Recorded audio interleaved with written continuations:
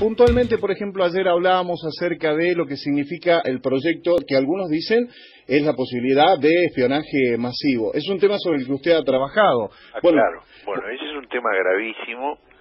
Este, estaba justamente viendo la nota de Clarín donde dice que a raíz de mi publicación del domingo pasado en el cohete a la luna eh, hubo unas discusiones muy grandes entre los distintos bloques y no se pudo llegar a un acuerdo para tratarlo en el recinto este, el miércoles 18 como estaba previsto.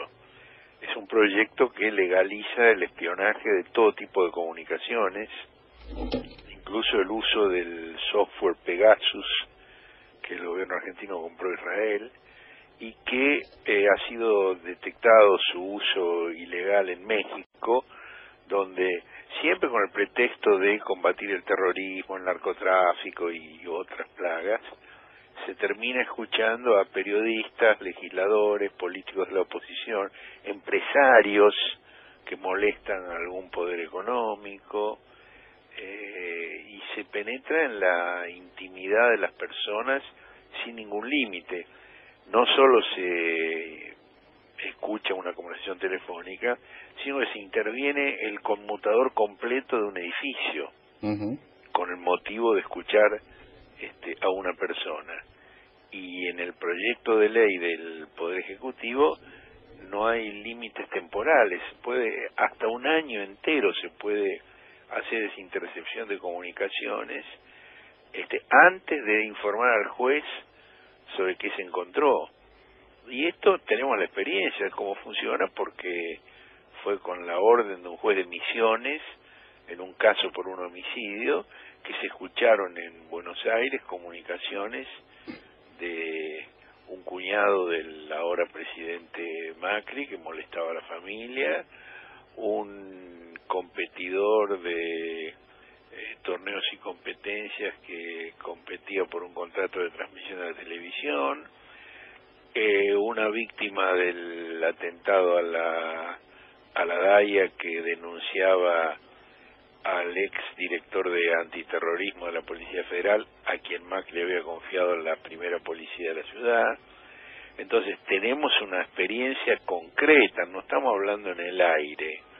Es decir, eh, estamos ante un gobierno que usa esos métodos en forma inescrupulosa, que no solo legisla, sino que luego excede los límites de la legislación, viola los límites de la legislación y que quiere tener un control absoluto de hasta la última hoja que se mueva en el país.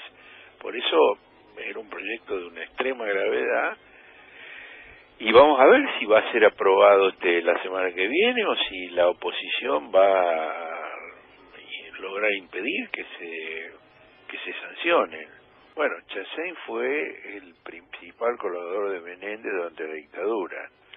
Fue el general ya retirado en ese momento que se hizo cargo de la administración de la provincia mientras Menéndez la conducía política y militarmente.